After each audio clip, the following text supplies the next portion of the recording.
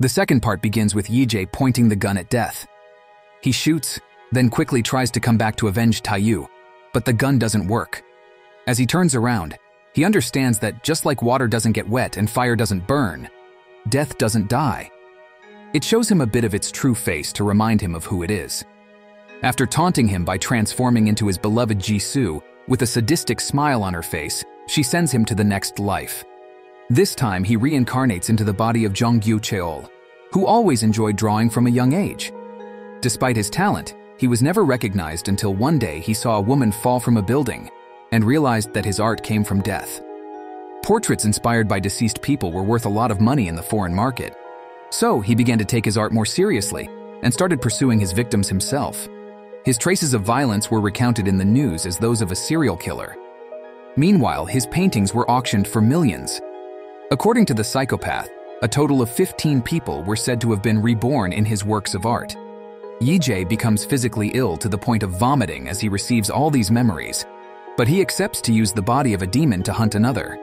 He returns to the scene of his last death and finds Jisoo's pen inside a sewer. That night, Taiyu convinces the lawyer to take the blame for the hit and run, promising him one of the company's branches to manage.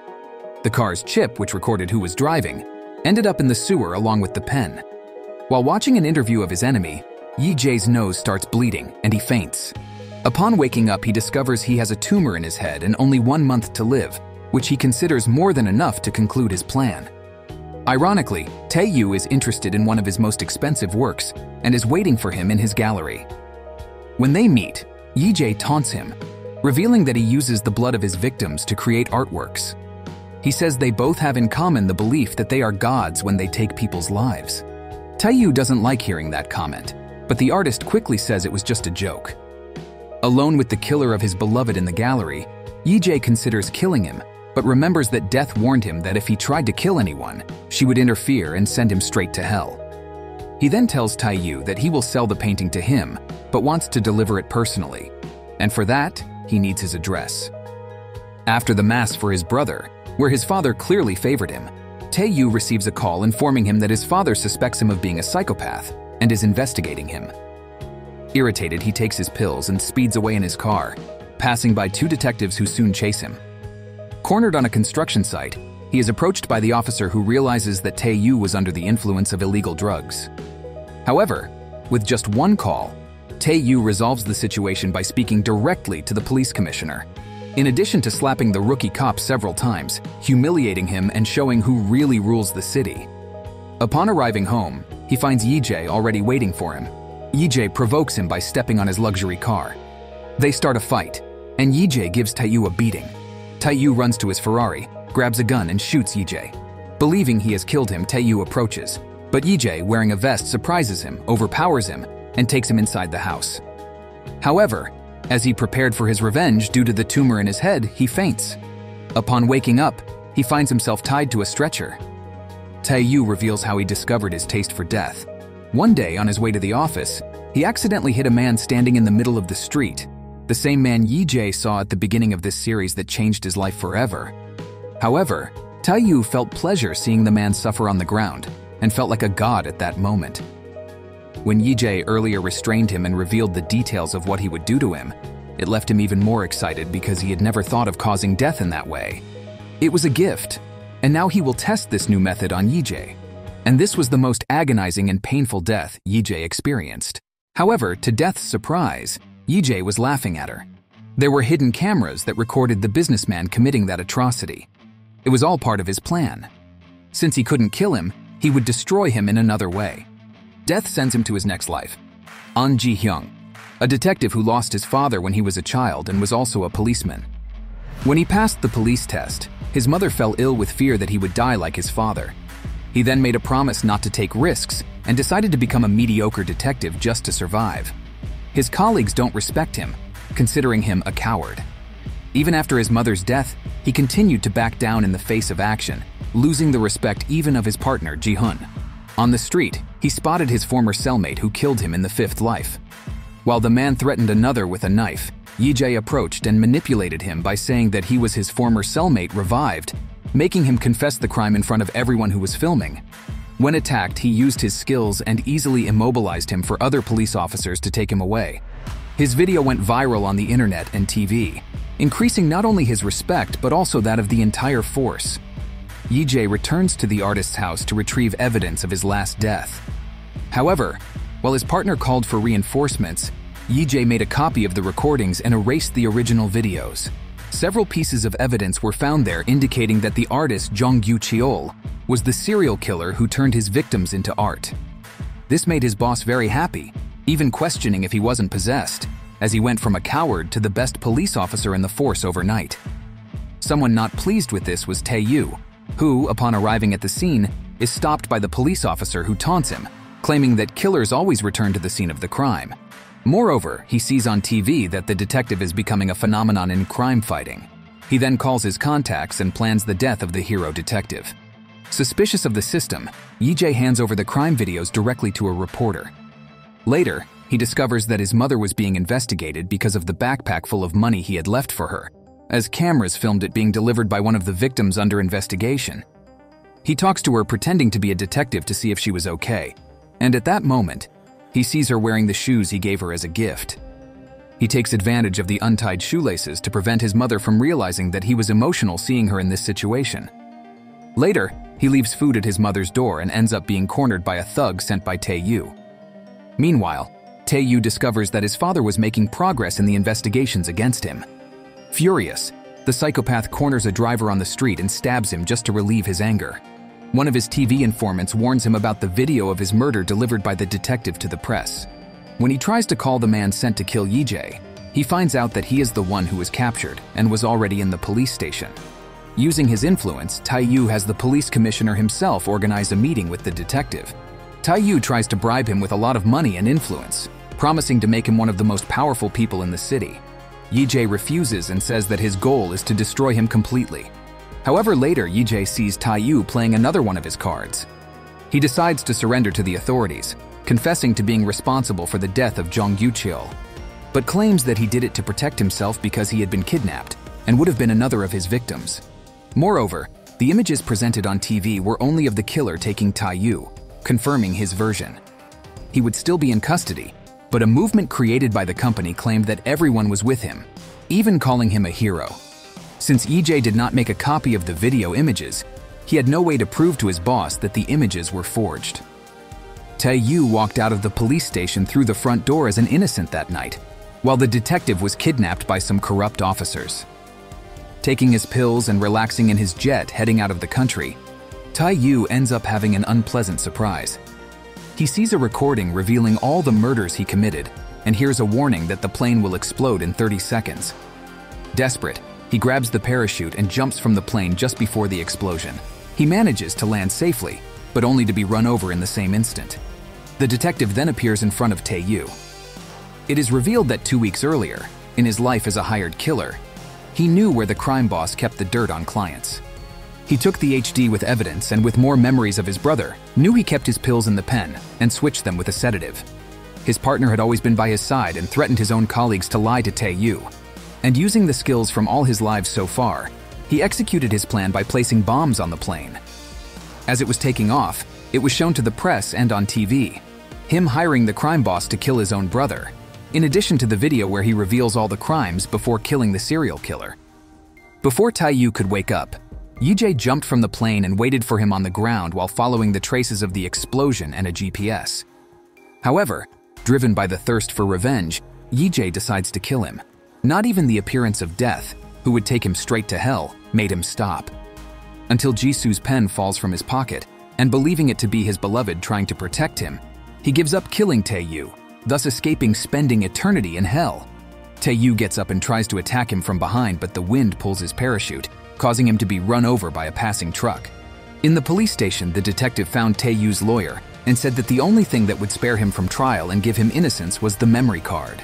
The lawyer was emotional and grateful, but Yijie destroys the memory card because he deserves to rot in prison for all the times he covered up Taeyu's crimes. The repercussions for Park Taeyu were significant. Three police commanders were removed, and his father resigned, leaving the company in the hands of the shareholders. Yijie visits Taeyu in the hospital, who only continues to live thanks to life support and has lost both legs.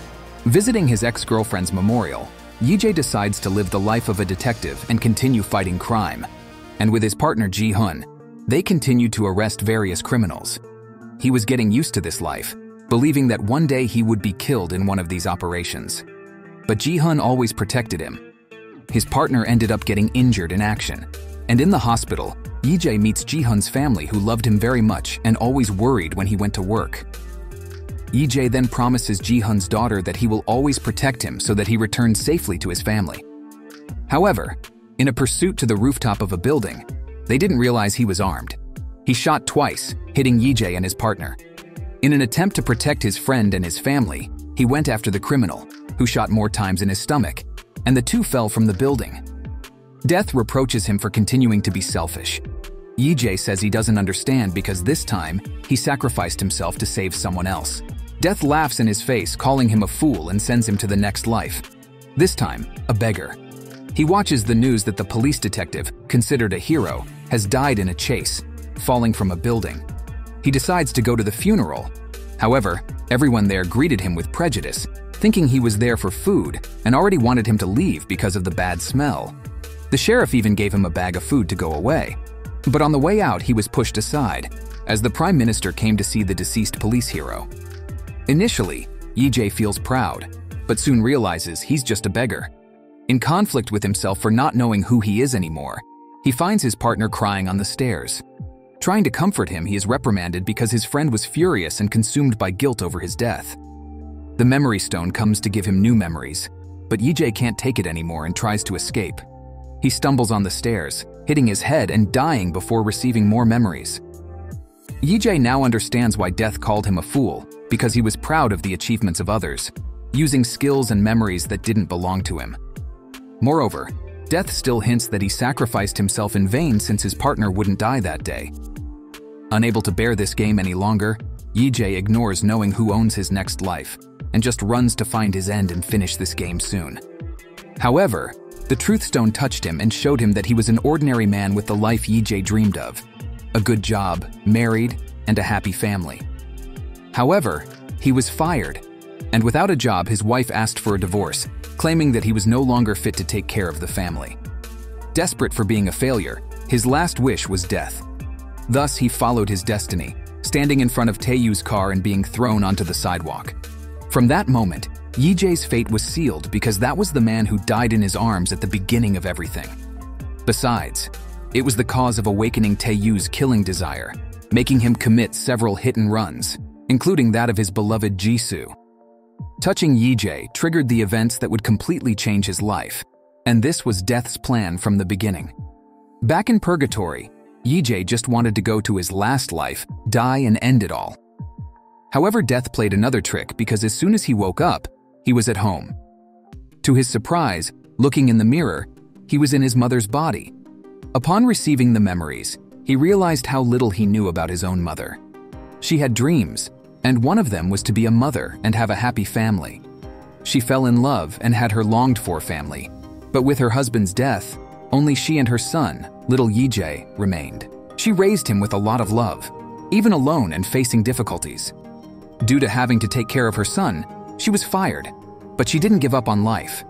She continued to accept smaller jobs to support her son, but Yijay seemed not to appreciate her efforts. She always believed in her son and tried to cheer him up. However, Yijay was not as strong as his mother, and it was she who was calling her son on the night he gave up. The pain of receiving the news of his death was so great that she fainted. She still had the harsh task of identifying him at the morgue and, alongside Jisoo, saw her only son being cremated. After that, her life was a sea of sadness. At work, she was considered unlucky, and no one wanted to be around her. It was at this moment that Yijay discovered how much he had hurt his mother and how selfish he had been in his decision. He then decides to live as his mother as punishment. And now he feels ashamed of his own death, but decides to work anyway. His knees began to fail, and at home, taking pain medication, he sees a savings account in the bank made by his mother to buy him a house when he got married. However, having money now didn't change his increasing sadness. Looking at his memorial, he realized that his mother went there every day after work to see her son and blamed herself, believing that Yijay deserved to have had a better, more intelligent mother who would give him a happy life. The memories only became more painful, and he also remembered the day he made a promise to take his mother to the mountain where she met his father. Yijie decided to take this walk, despite his hurting knees. He managed to reach the top of the mountain and see how beautiful the place was. In thought, he finally asked for forgiveness from his mother and held her hand. On the way back, he slips and falls into the middle of nowhere. With an injured leg, he can't walk and screams for help, but no one hears him. He refuses to let his mother die like this and makes every effort to reach the trail, being rescued and waking up in the hospital with a broken leg. Even so, he chooses to give his mother a long life. He lived for another 32 years in her body, and in his final moments, his entire life flashed before his eyes. On a peaceful afternoon with a beautiful view, he has his best and most honest death. He tells Death that he can't believe he missed her after so long. However, for her, not even a second has passed. Yijie pleads for one more life, this time his own life. He now understands the importance of every moment lived and only asks for the opportunity to embrace his mother, at least one more time. Death congratulates him because with these words, he has just won the game. But he will have only one opportunity, one bullet, and if his gun doesn't fire, he will be judged by God. Yijie takes the deadly weapon, and to his happiness, it works. He returns to the top of the building just before giving up. But this time he answers his mother's call, and his letter to death flies away, thus ending the death's game.